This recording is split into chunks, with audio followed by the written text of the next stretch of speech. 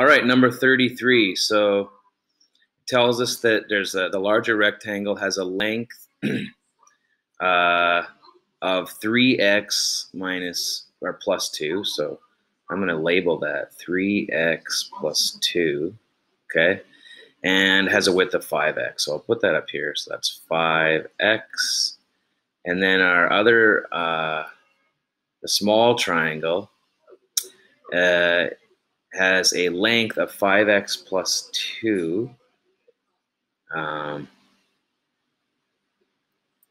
so that's 5x minus 2, sorry, and a width of x. There we go. So that also says that the, um, the area of the shaded region, so this shaded region, so if I go ahead, shaded, shaded region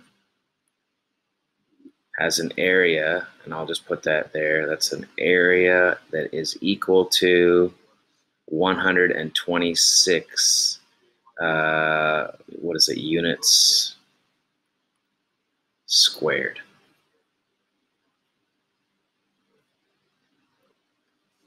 All right, so if I know the, the shaded area, um, that would be the whole rectangle's area, and then I'm just subtract this inner rectangle, and that will give me that shaded region. So then I can set up my equation, right? So the whole rectangle, the whole outside, um, is going to be 5x times 3x plus 2, right? Uh, and then we're going to subtract the inside area, which is x times 5x minus 2. And that's all equal to 126. Okay. All right, so the next thing I need to do is just go ahead and expand. Let me change colors here. So uh, it doesn't really matter. So I'll go ahead and expand. So I'm going to multiply distributive property here. So I have 15x squared plus 10x multiply here too, minus 5x squared, and then plus 2x equals 126. So now, like we always do, we're going to combine uh, the like terms and then set it equal to 0. So I've got 15x squared, and then I've got another, um, subtracting 5x squared, so I guess that leaves us with 10 x squareds, right? I've got 10x and 2x, so that's just plus 12x. And then I subtract 126 from both sides, and then that will set it equal to 0. Uh, I'm going to look for a common factor. So are there common factors? Is there a common factor? That's our first step.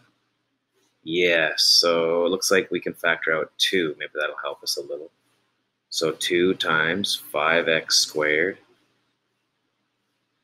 plus 6x uh, minus, let's see, half of 120 is 60, so minus 63, okay, is equal to 0. All right, so we're going to try to factor, uh, 63 is actually um, a number that might be okay to work with, right? So let's try factoring this. We could factor it by splitting this middle part and then grouping it. Uh, if we get stuck, we could try this. So maybe I'll try, let's say I'll try 5x and x. I mean, that's that has to be, at least we know that, that 5 is a prime number, so that has to be the case there, right?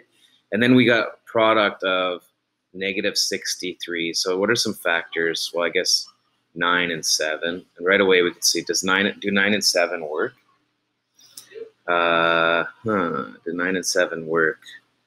So if I had, um, this is probably going to be, so if I had plus 9 here, that would be 45, and then, no, that's not going to work. So that definitely not going to work. Uh, if I had 7 here, that's going to be 35, and then minus, that's not going to work. I don't think that's going to work some other factors of 63. Um, well, if we split this, we get 3, and then it'll be times 3 and 21. Maybe that will work. Because if we have, let's put minus 3 here. That'd be minus 15 plus 21. Does that work? Right, that does work, right? So that gives us uh, a sum of 6. Okay, so um, when we go to which of these will equal to 0, let's see. This is going to give us a negative number for x, so we'll cross that out. So that means that x has to be equal to 3. So what is it? The 3, um, x is equal to 3. Uh, and if we look at the question, that's really all it's asking for is what is the value of x? We've answered the question. Sometimes it will say, what are the dimensions of the, the small or the large rectangle? So just be careful to always go back and check that.